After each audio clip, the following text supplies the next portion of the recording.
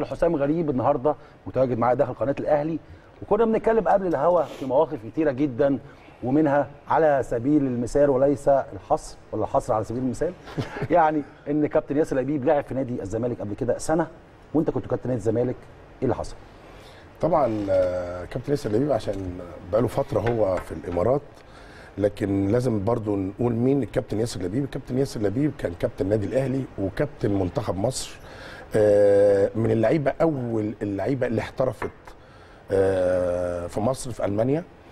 آه، ياسر بالنسبة لنا مش بالنسبة لنا بالنسبة لنادي الزمالك حاجة آه، حاجة كبيرة جدا. يعني إحنا كجمهور وكنادي وكلعيبة وكجهاز وكإدارة إحنا بن بن بن بنحب جدا ياسر لبيب لأنه فعلا خلوق لعيب خلوق جدا لعيب مميز لعيب آه، مش هيتعوض في ال- في الملاعب.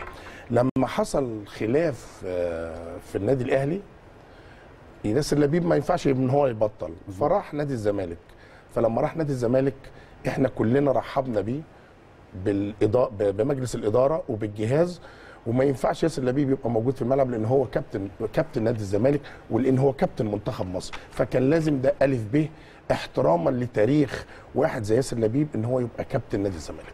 ودي حاجة كويسة بالنسبة لي وشرف ليا النهارده كابتن خالد بأمانة إن أنا يبقى معايا الكابتن ياسر لبيب. صدقوني هي دي الروح بين اللاعبين وبين اللعيبة والأجيال المختلفة لكرة اليد طول عمرها. كل الأجيال كرة اليد بهذا التاريخ وهذا الموضوع وكلهم إخوات ومفيش حزازيات كبيرة بينهم لأن ده تاريخ كبير في كرة اليد.